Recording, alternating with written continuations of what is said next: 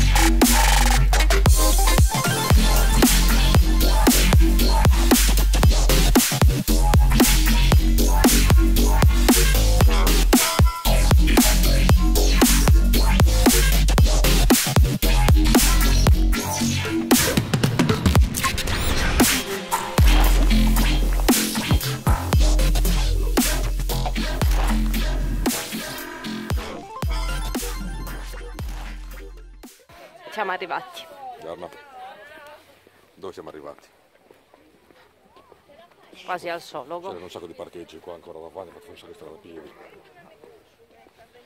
Oh, Guarda. Ho fatto quasi 100 metri a piedi. Macchine, qua stiamo andando lì. Lì stiamo andando. Guardate dietro. Cosa fai? Tu mangi? povera, povera la bambina. Ecco qua. Trattori bloccano e tutta la gente lì ferma. Ma tanta altra ne sta arrivando.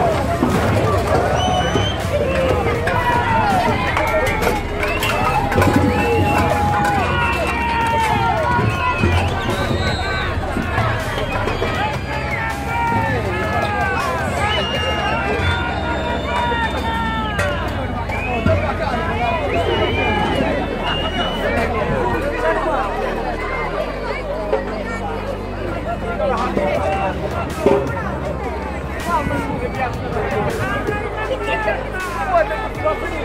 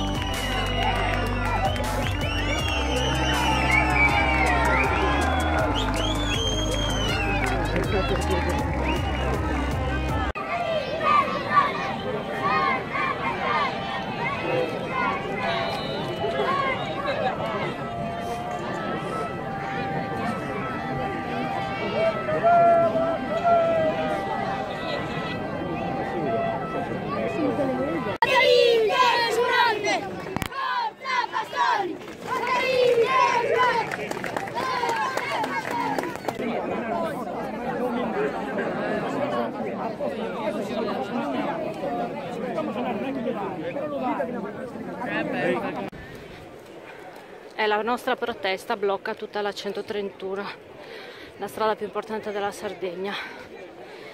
Quella è Rebecca. E è arrivato altro latte. Guarda che Rebecca si sta allontanando.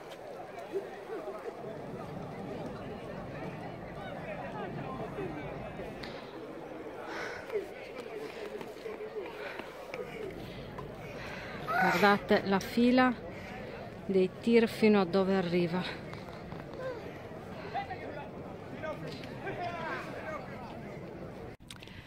Questo è uno dei tanti camion fermi nella fila.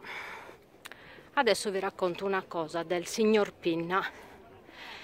Il signor Pinna vende la sua ricotta e tutti i suoi prodotti con un marchio sardo. Adesso vi faccio vedere la foto.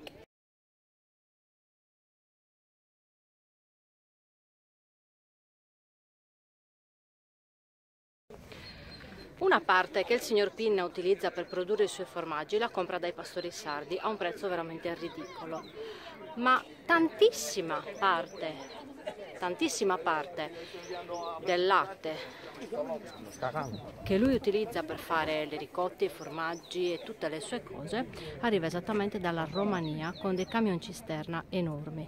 Uno di questi camion cisterna è stato svuotato eh, e quello che ne è uscito non è il latte bianco dei nostri pastori sardi, quello che avete visto svuotare fino adesso, era una roba gialla inconsistente che non si capisce esattamente cosa sia che va a finire dentro le nostre ricotte va a finire eh, dentro i nostri formaggi va a finire dentro il nostro corpo e sicuramente non è la cosa più sana del mondo visto che il latte in teoria è bianco e la fila continua, continua, continua, continua.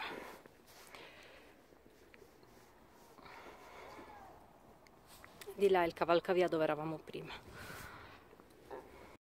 In realtà la questione del latte è solo una questione di partenza, nel senso che se i pastori falliscono e sono costretti a mollare la pastorizia, la Sardegna muore.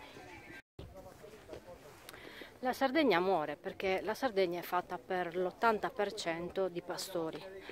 Eh, pastori che comunque eh, investono nella nostra terra, che comprano nei nostri negozi, eh, loro, le loro mogli, le loro figlie, l'economia gira intorno alla pastorizia. Se voi notate il comparto turistico qua in Sardegna, sì, è bello, è forte, ma non tanto quanto tutto il resto. I nostri prodotti tipici sono eh, i salumi, i formaggi, il porcetto sardo, non sono né le cozze né le ostriche né le cose di mare, è la pastorizia che manda avanti la nostra terra e se la pastorizia muore, moriamo tutti noi.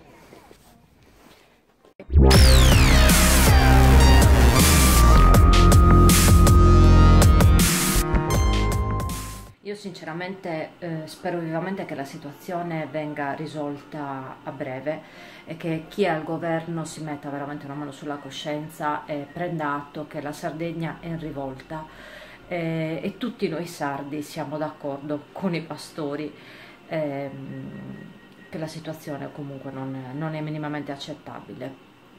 Noi siamo considerati da tutta Italia un popolo di serie B nei mesi da settembre a giugno. Eh, per luglio e agosto siamo un popolo di serie A perché abbiamo la terra meravigliosa che tutti volete venire a vedere. Noi vi accogliamo molto volentieri, però dovete anche capire che noi viviamo per tutto l'anno e non solo per due mesi, quindi abbiamo necessità anche noi di determinate cose. Ehm, Scusatemi se posso essere stata pesante in questo video, ma sentivo nel cuore di dover comunque divulgare questa situazione e mettere mano eh, nel mio piccolo eh, per cercare comunque di dare una mano e far vedere quello che realmente sta succedendo, perché i TG non ne parlano ragazzi, non ne parlano, vi dicono quattro fesserie e pensano che, che tutto vada bene, che, che, che vada bene così, non va bene così, non va bene così eh, spero che tanti come me lo facciano, spero che tanti youtuber sardi riescano a, ehm, a divulgare appunto la, la, situazione e che così si riesca ad arrivare veramente a, a un accordo. perché così non può andare avanti. Io comunque ehm, non riesco, non sono riuscita in nessun modo a scaricare un filmato importantissimo ehm, con la voce di Fortunato Ladu che racconta la situazione e che spiega un pochino come si sta vivendo, un video veramente molto toccante che tutti noi abbiamo condiviso sulle nostre pagine Facebook e che ci ha strappato tante lacrime, quindi se volete andare a vederlo vi lascio qua sotto nel, nell'info box, vi lascio il link diretto a questo video e se volete andatelo a vedere insomma. Io per adesso vi, vi mando un grande bacio, ci vediamo al prossimo video, magari un po' più leggero. Ciao! Yeah.